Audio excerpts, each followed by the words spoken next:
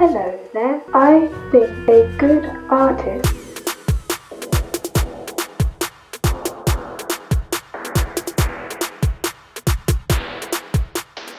আগে কি কখনো শুনেছেন একটি রোবট ছবি আঁকতে পারে? শুধু ছবি না, আবার কবিতাও লিখতে পারে। অতীতে আমরা শুনেছি রোবট রেস্টুরেন্ট সামলাচ্ছে, বাড়ির কাজে হেল্প করছে। তবে এসব কিছুকে ছাপিয়ে এবার রোবট ছবি আঁকছে, কবিতাও লিখছে। আজকের আয়োজনে জানাব এমনই এক রোবটের গল্প যে কিনা ছবি আঁকতে পারে, আবার কবিতাও লিখতে পারে।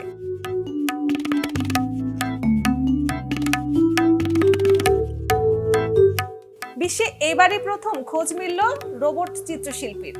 রোবটটি দেখতে অবিকল একজন নারীর মতো। এই নারী রোবটের নাম দেওয়া হয়েছে অ্যাডা। বিশ্বের প্রথম এই শিল্পী রোবটের নির্মাতা অ্যাডিয়ান মোলার। কম্পিউটিং এর অগ্রদূত অ্যাডা লাভলেসের নাম অনুসারে অ্যাডার নামকরণ করা হয়েছে। এই রোবট তার কৃত্রিম বুদ্ধিমত্তায় ইতিমধ্যেই চমকে দিয়েছে সকলকে। মানুষের চোখে চোখ রেখে ছবি এঁকে দিতে পারে এরা যার ছবি আঁকবে তার সামনে যে এরা তার চোখের পলক ফেলে দেয়।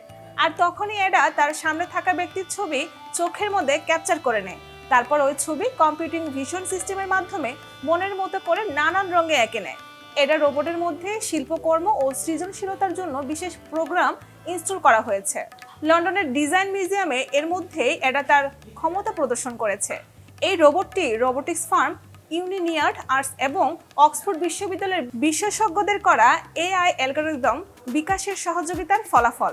দুই হাজার উনিশ সালে এই রোবটের নির্মাণ কাজ শেষ হলেও এটাকে পরবর্তী দুই বছর উন্নত প্রযুক্তি দ্বারা আপডেট করা হয়েছে। এটার প্রথম চিত্রকর্ম তাক লাগিয়ে দিয়েছিল বিশ্ববাসীকে। লন্ডন ডিজাইন মিউজিয়ামে এটার চিত্রকর্ম প্রদর্শনী হতেই প্রথম দিনে বিক্রি হয়েছে এক মিলিয়নেরও বেশি মূল্যের পোর্ট্রেট। এছাড়াও দুই হাজার বাইশ সালে ভেনিসে তার একটি একক এক্সিবিশন ছিল। তাও বেশ জাঁকজমকভাবে আয়োজিত হয়েছে। প্রথম প্রথম অতি প্রাকৃতিক ছবির চেয়ে বেশি কিছু আঁকতে পারতো না এডা। কিন্তু সময়ের সঙ্গে সঙ্গে প্রশিক্ষণ পেয়ে আজ সে যথেষ্ট পটু। তার ছবি আঁকার হাত এতটাই নিখুঁত যে নিজের ছবিও এঁকেছেন নিজেই।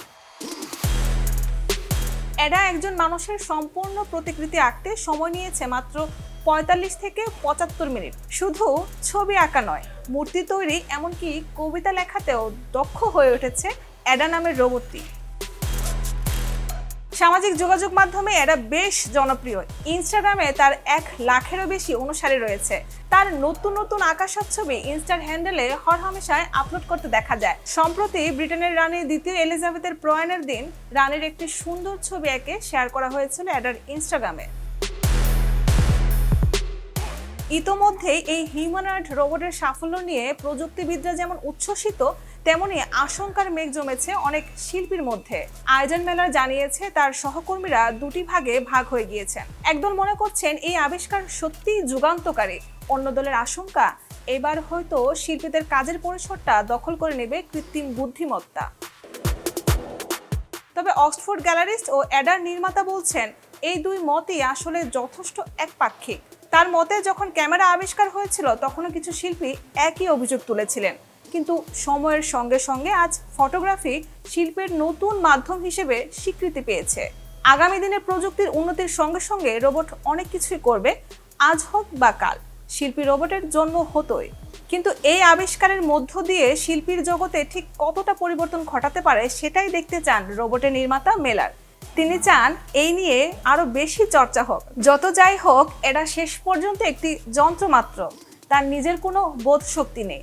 কিন্তু মানুষের বোধ শক্তির উপর নির্ভর করে সে অসাধ্য সাধন করতে পারে।